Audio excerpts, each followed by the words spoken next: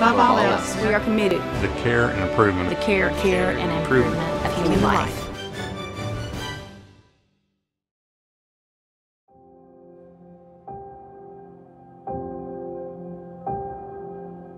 My name is Alice Nuttall. I'm a nurse. I also function as the psychiatric coordinator. So I'm the liaison between Skyline Madison campus, which is our behavioral health facility, and Skyline Medical Center here. It's really our mission and our goal to treat the whole person. Mental illness is a significant issue within our communities and our families, and to put it in perspective, last month alone here at Skyline, we saw 171 patients that needed psychiatric intervention and assessment of some variety.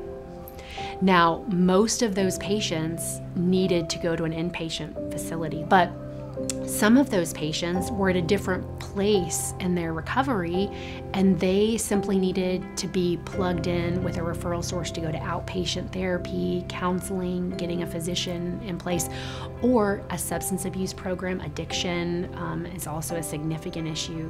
When we identify that there is a risk for somebody's wellness or that they may be a risk of self harm, or a risk of suicide, it's going to trigger in our providers here in the emergency room that this person needs a little bit more help.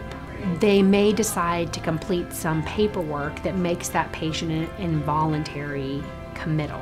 It simply is going to be a way to get that patient the help that they need and they deserve, even if they're not feeling ready. Whatever the circumstance may be, whatever the reason that gets somebody to our door, we stand ready to address and help them. We're here 24 7.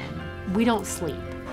And so that's the beauty of it. If we can be vulnerable and know when to ask for help, we can get to the other side where we're stronger and we're more of a community.